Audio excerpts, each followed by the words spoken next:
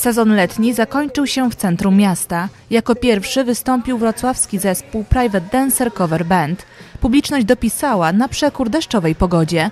Niestety w te wakacje pogoda często raczyła nas deszczem i w takiej też aurze przyszło nam pożegnać lato.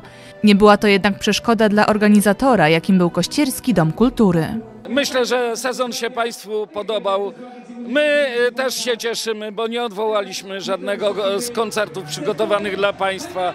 E, Myślę, że fajne jest także to, że e, nie odwołaliśmy żadnego z występów w ramach Międzynarodowego Festiwalu Folkloru, który robimy e, z Chojnicami, Karsinem, Brusami.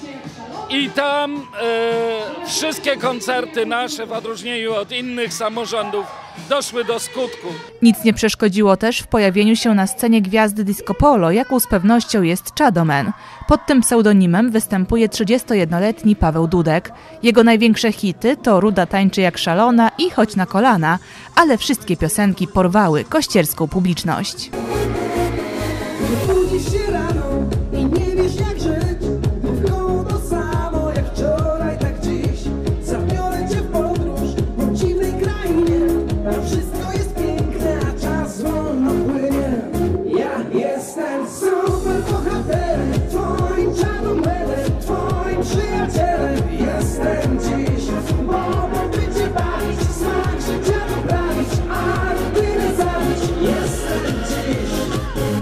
jestem super bohaterem, twoim czarnomedem, twoim przyjacielem. Jestem dziś, bo mogę cię bawić, smak życia poprawić, a rutynę zabić. Jestem dziś I tak właśnie zakończyliśmy sezon letnich imprez w naszym mieście.